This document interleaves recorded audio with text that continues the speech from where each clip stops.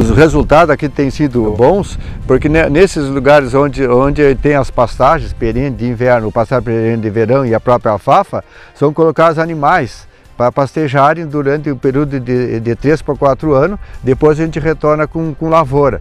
E, e para ver o, o, efeito nos rendimentos de grão dessas espécies e para depois nós passarmos, indicarmos, recomendarmos para os agricultores. Né?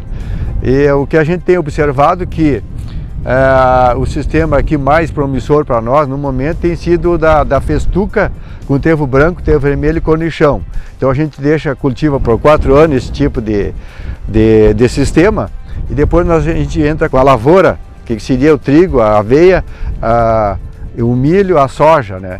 Então, onde tem dado maior retorno é, de, no rendimento de grão é onde a gente cultiva depois da, da, da, da festuca, que é uma pastagem perene de, de, de, de inverno.